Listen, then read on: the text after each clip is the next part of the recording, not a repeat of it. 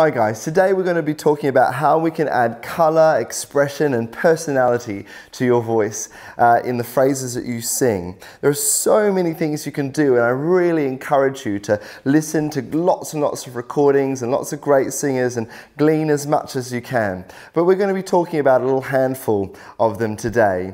Now the first one we can use to add a lot of emotion works really well for perhaps a sad song or a song that we really want to make seem quite heartfelt. And it's what we call a cry.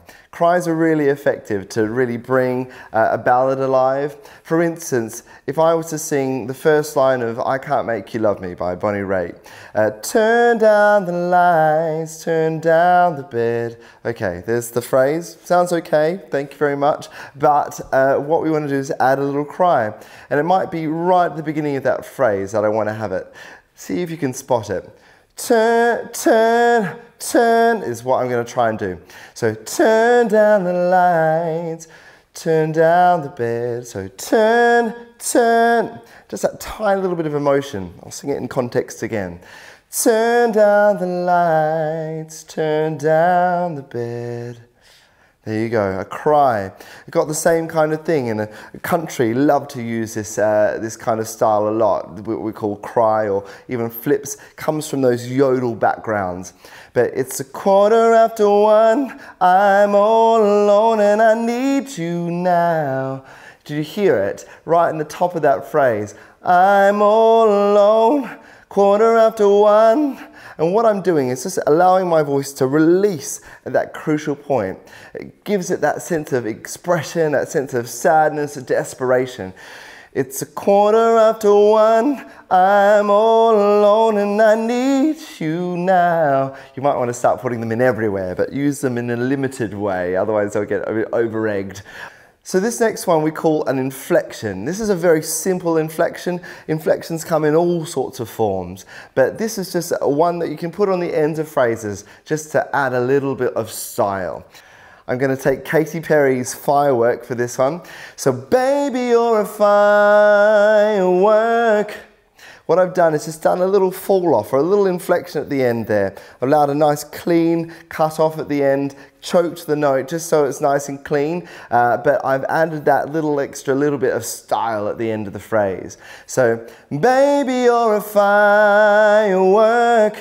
Come and tell us what you're worth. You've got those, those lovely little inflections at the end there, just to add a little bit of personality. So this next one we're going to use is a lovely simple one, but very, very effective. Uh, this is what we call an aspirate sound or a breathy sound. It's really lovely for softening up some of those verses and choruses that you uh, might want to just make a little bit more sensitive and a little bit more fragile.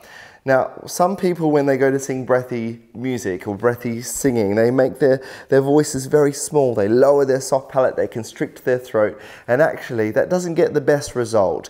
If you want to get your tuning right and get the best out of your resonance, you want to really release the back of your throat, get a nice big space in there. So if I was to sing something like uh, Taylor Swift, Safe and Sound from the Hunger Games movie, I remember tears streaming down your face, said I never ever let you go. I can add a little bit more breath to that to make it a bit more sensitive. I remember tears streaming down your face, said I never ever let you go. I could even add some of that cry that we explored. I remember tears streaming down your face, said I never ever let you go. That little bit of breath in there adds that sensitivity and that lightness to that phrase. It makes it really heartfelt and very sensitive. So that's breathiness, aspirate sound. And finally, we're going to talk about spoken fall-offs. These are really, really effective. I'm going to use a great new tune that's on the charts at the moment. It's Take Me to Church uh, by Hozier. And uh, he sings it with these lovely fall-offs that add a lot of expression to these phrases. So, my lover's got humor, humor. That's what we call a flick there, humor. She's a giggle at the funeral. Everybody's disapproval.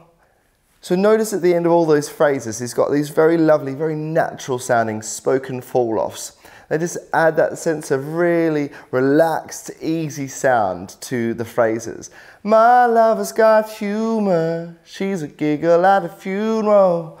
Everybody's disapproval. All those lovely bits of style add so much personality to your phrases. So we've talked a little bit about inflections, fall-offs, cries, those little flicks there. And hopefully if, as you add these to your own vocal phrases, you'll find that your songs start to come to new life.